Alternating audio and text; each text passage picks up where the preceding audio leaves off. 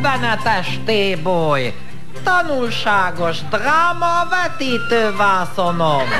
Lelkesedjenek önként!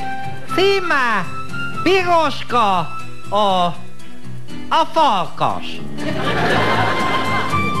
Ez a farkas olyan népszerű sztár volt, hogy még azok is szerették, akik utálták.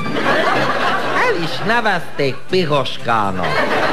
Piroskát annyira imádták, hogy enni adtak neki, ha éhezett, ha szétrepett az ebédtől, bevalták a hasát, és mindenhol kitörő örömmel fogadták.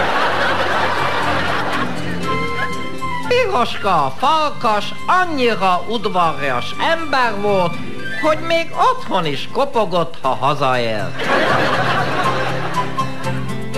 Bújj be, drágám!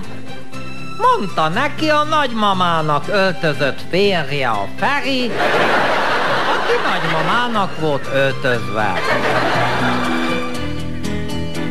Ekkor érkezett virágcsokorral, egy ennivalóan bájos rajongó. Elnézést, bejöhetek? kérdezte. Dehogy jöhet? Alszunk a Ferivel. Válaszolt Piroska, miközben hova tűnt a Feri? Bocs, hogy mégis bejöttem, de szeretem az ilyen nagy szőrös vadállatokat, mint te. Kezdte vallomását a lelkes rajongó. Árpád, lödd már le ezt a nőt a lábamról. Kérte Piroska az Árpádot kétségbe esetten. Árpád azonnal belőtt az ablakon a falkas kérésére.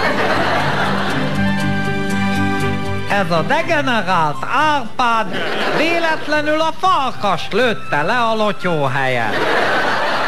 Panaszolt a Feri nagymama a szakállas nyomozónak. A falkasnak több se kellett, mert ettől is megdöglött. Tanulság, ha egy rajongó virágot hoz, ne az Árpádot hívjuk segítségül. Jó indulatot kívánunk!